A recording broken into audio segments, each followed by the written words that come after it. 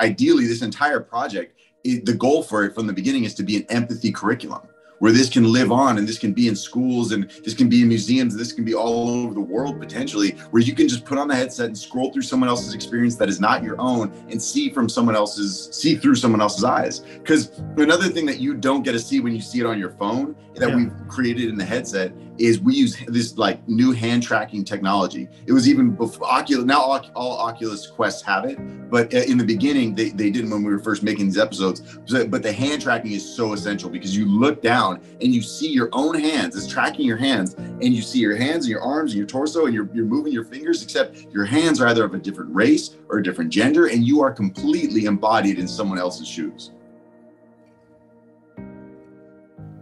Hey, everybody, it's Aaron, and Elijah Allan Blitz is the gentleman you just heard.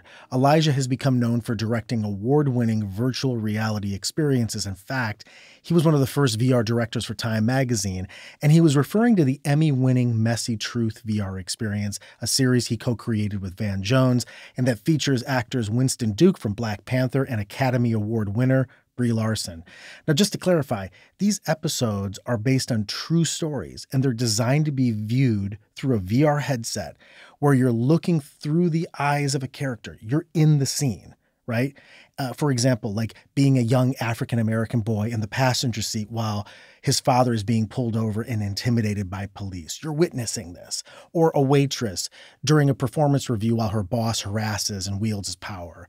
Now, the series was released in 2019, and because of COVID, these in person VR experiences were limited. But I think Elijah and his team are on the cutting edge and continue to be of transformative storytelling. Now, prior to COVID, Elijah and his team took the messy truth experience to CPAC, the Conservative Political Action Conference. But before we get to what happened there, I wanted to ask Elijah when his VR journey started there's been you know a few different waves of VR. There was like in the early, like you're saying, in the late '80s, early '90s, there was a guy named Jaron Lanier who's one of the pioneers, and there there was kind of these like, oh, VR's the next thing, but it didn't really happen. And then there was another wave in about 2015, 2016, which is when I kind of re-entered, or I guess entered from myself the space. And it, I was at the uh, TED conference, and I saw this VR experience, and it wasn't like it was the perfect epitome of what VR needs to be, but I saw the potential and I understood exponential growth and exponential technology and just how this is only going to get better and better and better. And it was like, okay, I, you know, to, to me, it's like if, if I can distill my mission, what I want to do down into a sentence, it would be to use technology to elevate consciousness. And so I I just saw this as an opportunity, and it wasn't like, oh, I want to, you know, make my whole life about this thing, but that ended up being what happened you know for at least for the following five years it was just like okay everything that i can do. And so i i, I was lucky enough later that year in 2015 to, to work on a project in haiti. We shot a little 360 piece with some friends. And then the next year after that it was like this snowball effect. I, I worked with ken burns uh, for his documentary about the holocaust. That was released by time magazine. That was the first vr experience that they did uh, working with their incredible team over there. And it just was this snowball effect. And, and actually, it was after that, I had already known Van for a while, but it was after that piece that he and I connected because that was right around the time that Trump got elected. And we were talking about doing a separate project about uh, something completely different. And like a week after the election, he and I got on the phone and we're like, you know what? I think we need to pivot. And I think we need to just see if we can use the power of this medium to try and bring everybody closer together. Directing TV or film is one thing, but I asked Elijah to try and pinpoint the difference between those traditional disciplines and directing virtual reality.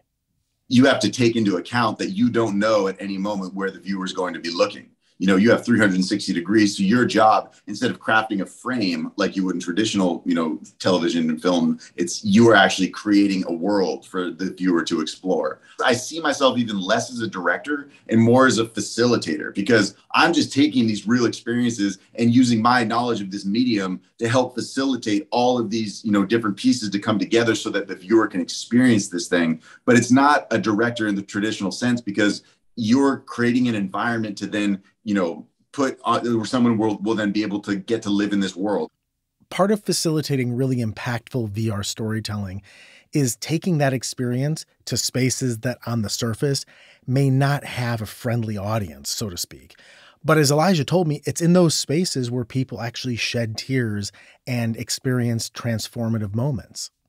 When when we had the opportunity to take this the first episode to CPAC, the Conservative Political Action Conference, it was like you know, there were guys wearing MAGA hats and NRA hats and taking off their hats and putting on the visors and having these experiences. Police officers were watching it, and it was just like, this is what it's it's about you know this is about creating these conversations and being able to engage with people on a human level and being like past politics past you know whatever you, you know the thoughts the preconceived notions you might have and just being like as a human to human what are you feeling? What are you experiencing? And to me like that's the goal. And that was you know i, I helped fund that that cpac trip myself because i was like this is what we built this for. You know we didn't build this just to show people that have already had this experience and agree with us already or agree with this specific specific perspective. It's like no this is to create a conversation and bring more people together not to just be like create more divisive content where it's like oh f this guy or f that guy and this is my side and that's your side. It's like, no, let's come together because fundamentally we are humans. And that is the heart of all this stuff, man. And if this is, you know, that like when you say, you know, you got to go and speak with people and, and, and share your stories and, and bring that connection to people, that that is the same kind of thing. That is that empathy. That is that, you know, people, when they're engaged with you, I'm sure they're experiencing that same shift where they're hearing your story and they're identifying with parts of it as themselves. Eventually, when those, these headsets are ubiquitous, we can send these headsets everywhere in the world and just be like, hey, take three to five minutes, look at someone else's perspective and see see what you think.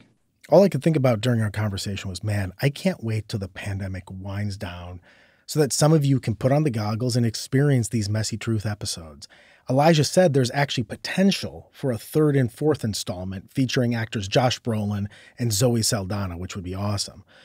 Well, I couldn't get off this Zoom call with them without randomly talking about NBA basketball, especially since I saw Elijah on TV shaking hands with a guy from my hometown, LeBron James, at a recent Lakers game.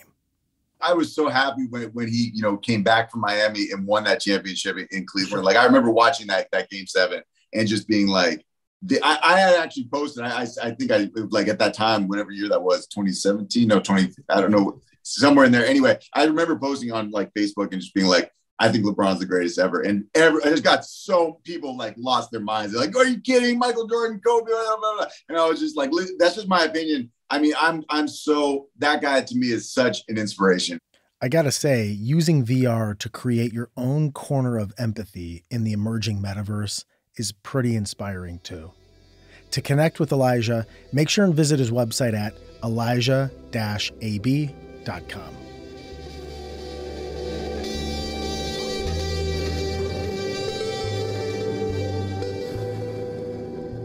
Seven Minute Stories is created and performed by Aaron Calafato. Audio production by Ken Wendt. You can connect with Ken or inquire about his audio production services at media216.com.